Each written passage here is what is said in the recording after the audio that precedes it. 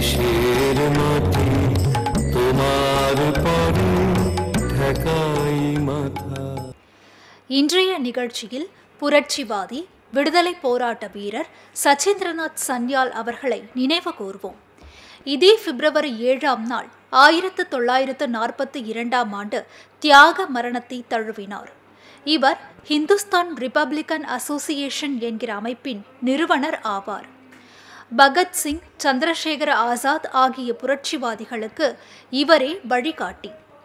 அநேகமாக இவர் ஒருவரே இரண்டு முறை காலாபாணி என்று பிரபலமாக அறியப்படும் அந்தமான் செல்லுலார் சிறைக்கு அனுப்பப்பட்ட தேசியவாதி ஆவார்.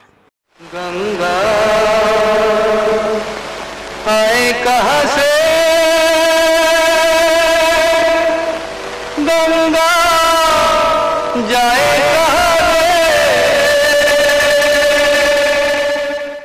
சச்சேந்திரநாத் சன்யால் ஆயிரத்து எண்ணூற்று தொன்னூற்று மூன்றாம் ஆண்டு உத்தரப்பிரதேசம் வாரணாசியில் பிறந்தார்.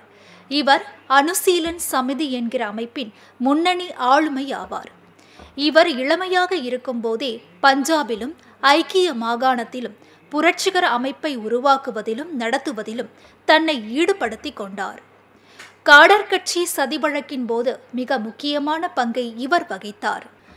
சன்யால் ராஷ்பிகா ரிகோஷ் அவர்களுடைய நம்பிக்கைக்குரிய துணைவராக விளங்கிய போது பிடிபட்டு தண்டனை அளிக்கப்பட்டு அந்தமான் நிக்கோபார் தீவுகளில் உள்ள செல்லுலார் சிறைக்கு அனுப்பப்பட்டார்.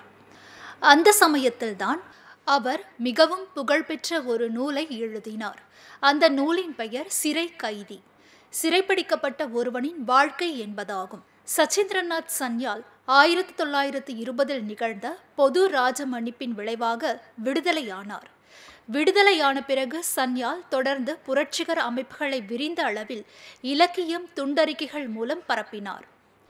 வங்க புரட்சிவாதிகளான பிரதுல் கங்குலி ஜோகேஷ் சந்திர சாட்டர்ஜி திரைலோக்கிய சக்கரவர்த்தி நரேந்திரநாத் சென் பிரபோத் சந்திரதாஸ் குப்தா ஆகியோருடனும் நாட்டின் பிற பகுதி புரட்சிகரவாதிகளுடனும் மிக நெருங்கிய தொடர்பில் இருந்தார்.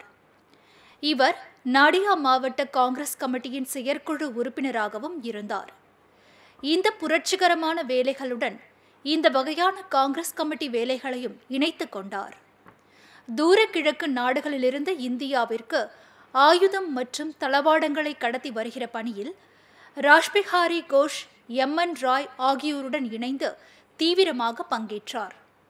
ஒத்துழையாமை இயக்கம் முடிவுக்கு வந்ததைத் தொடர்ந்து சச்சேந்திரநாத் சன்யால் ராம் பிரசாத் பிஸ்மில் மற்றும் சில புரட்சிகரவாதிகளுடன் இணைந்து ஹிந்துஸ்தான் ரிபப்ளிகன் அசோசியேஷன் என்ற தீவிரவாத அமைப்பை ஆயிரத்து தொள்ளாயிரத்து இருபத்தி நான்கு அக்டோபர் மாதம் தொடங்கினார். அந்த ஹிந்துஸ்தான் ரிபப்ளிகன் அமைப்பின் புரட்சி என்கிற பெயருடைய அறிக்கையை எழுதியவர் இவரே. அந்த அறிக்கையை வட இந்தியாவின் பல நகரங்களிலும் முப்பத்து ஒன்று டிசம்பர் ஆயிரத்து தொள்ளாயிரத்து இருபத்து நான்காம் ஆண்டு விநியோகித்தார். பங்குரா மாவட்டத்தில் புரட்சி நடவடிக்கைகள் என்கிற தலைப்பிலான தேச துரோகம் அடங்கிய துண்டறிக்கையை விநியோகித்ததற்காக ஆயிரத்து தொள்ளாயிரத்து இருபத்து ஐந்தில் இரண்டு ஆண்டுகள் கடுங்காவல் தண்டனை விதிக்கப்பட்டார். பிறகு இவர் லக்னோவில் நடந்த ககோரி சதி வழக்கில் சம்பந்தப்பட்டு ஆயிரத்து தொள்ளாயிரத்து இருபத்தி ஏழு ஏப்ரலில் நாடு கடத்தப்பட்டார். ஆயிரத்து தொள்ளாயிரத்து முப்பத்தி ஏழில் சச்சேந்திரநாத் சன்யால் விடுதலை செய்யப்பட்டார்.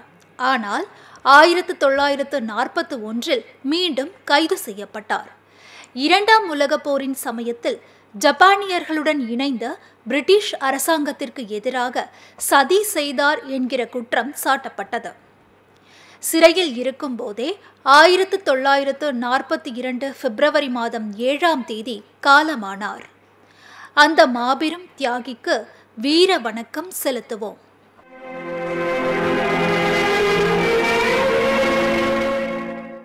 நாம் இன்று அக்பர் கான் என்கிற விடுதலை போராட்ட வீரரையும் நினைவு கூர்வோம். அக்பர் கான் அவர்கள் ராஜஸ்தான் மாவட்டத்தில் ஆயிரத்து எண்ணூற்று இருபதாம் ஆண்டு பிப்ரவரி மாதம் இதே ஏழாம் நாள் பிறந்தார். அக்பர் கான் கோட்டா சமஸ்தானத்தின் இராணுவத்தில் அதிகாரியாக பணிபுரிந்தவர். கோட்டா சமஸ்தானத்தில் கிழக்கிந்திய கம்பெனியின் ஆதிக்கத்திற்கு எதிராக ஆயிரத்து எண்ணூற்று ஐம்பத்து ஏழில் நிகழ்ந்த முதலாவது இந்திய விடுதலை போரில் முக்கிய பங்கு வகித்தார். மெஹராப் கான் அவர்களுடைய தலைமையில் நிகழ்ந்த பிரிட்டிஷ் முகவரின் கோட்டாவில் இருந்த வீட்டை தாக்கும் பணியில் இணைந்து செயல்பட்டார். இது நடந்தது ஆயிரத்து எண்ணூற்று ஐம்பத்து ஏழாம் ஆண்டு அக்டோபர் பதினைந்தாம் தேதியாகும். இந்த தாக்குதலில் கேப்டன் சி. இ. பர்டன் என்கிற அரசியல் முகவரும் அவரது இரண்டு மகன்களும் இன்னும் சில வீரர்களும் கொல்லப்பட்டனர். அவர் கோட்டாவினுடைய ஆட்சியாளர் மகாராவுடன் இணைந்து பிரிட்டிஷாரை பல சண்டைகளில் எதிர்த்து போரிட்டார். பிரிட்டிஷ் உறுப்புகளால் ஆயிரத்து எண்ணூற்று ஐம்பத்தி எட்டு மார்ச் மாதம் அவர் சிறைப்பிடிக்கப்பட்டு கொல்லப்பட்டார். அந்த மாபெரும் தியாகிக்கு வீர வணக்கத்தை செலுத்துவோம்.